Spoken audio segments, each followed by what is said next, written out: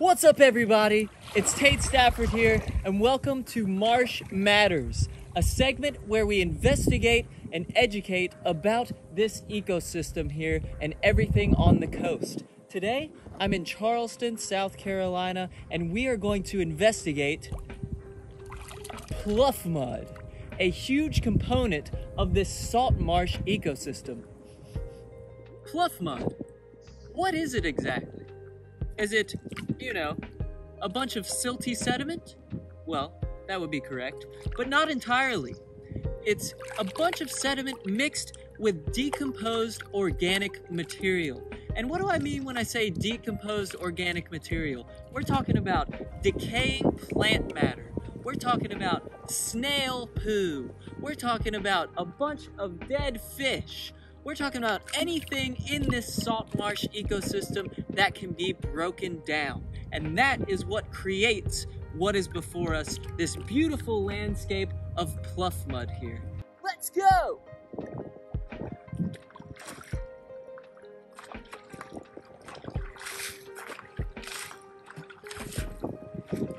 So let's break it down. Pictured behind me is a beautiful pluff mud bank here, a very great example of what you see in this salt marsh habitat. Sitting on top of this pluff mud is what we call our Spartina grass, or salt marsh cordgrass, a very important part of this ecosystem as well. We were talking earlier about that dark, rich color of the pluff mud here and how it's made up of 50% decomposed organic material. Not only does that Spartina grass survive and thrive on top, but it also dies. You can see it's already getting some of that coloration here. Woo! And some of the smell too.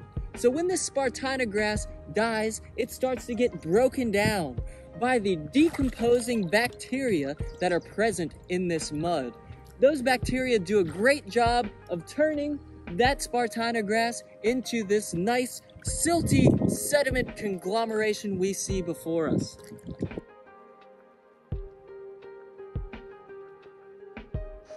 What's that egg smell? Did I hear someone say eggs?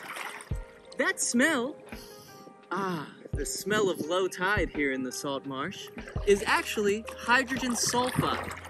Those bacteria that live amongst the pluff mud here release hydrogen sulfide as they are breaking down this organic material. So the next time somebody asks you, what's that smell? You can tell them, it's decaying organic matter. Yeah, baby. See ya! So we've discussed and investigated some important biological concepts when considering pluff mud. Now, let's take a moment and dive into the history.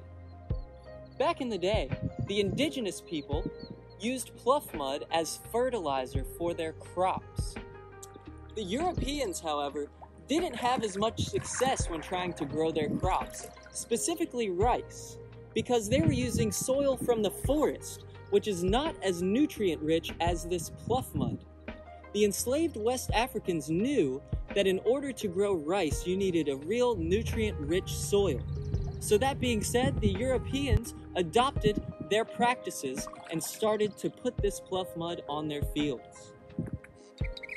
Not only was pluff mud great fertilizer, but it also had some other ancient uses as well. The indigenous people here used to have to sit and bake under this low country sun in the summers, so they just take some pluff mud, you know, Boom, baby! SPF 9000 right there. Works as great sunscreen. They could also use it as bug repellent. So out there walking through the woods, they get really buggy, especially out here in the salt marsh too, with our no-see-ums. You could just take some pluff mud up, rub it right on the skin. There we go. Who needs DEET when you have pluff mud? Because it's such fine-grained sediment, Pluff mud is also known as low country quicksand, which is why birds can walk on it, but we cannot. Any bit of pressure you put into this pluff mud, you could get stuck. You can see my paddle here. Wow, look at that.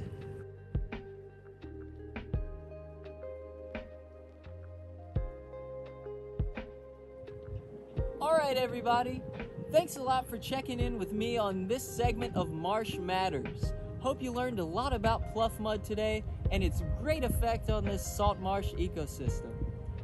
Once again, I'm your host, Tayt Stafford.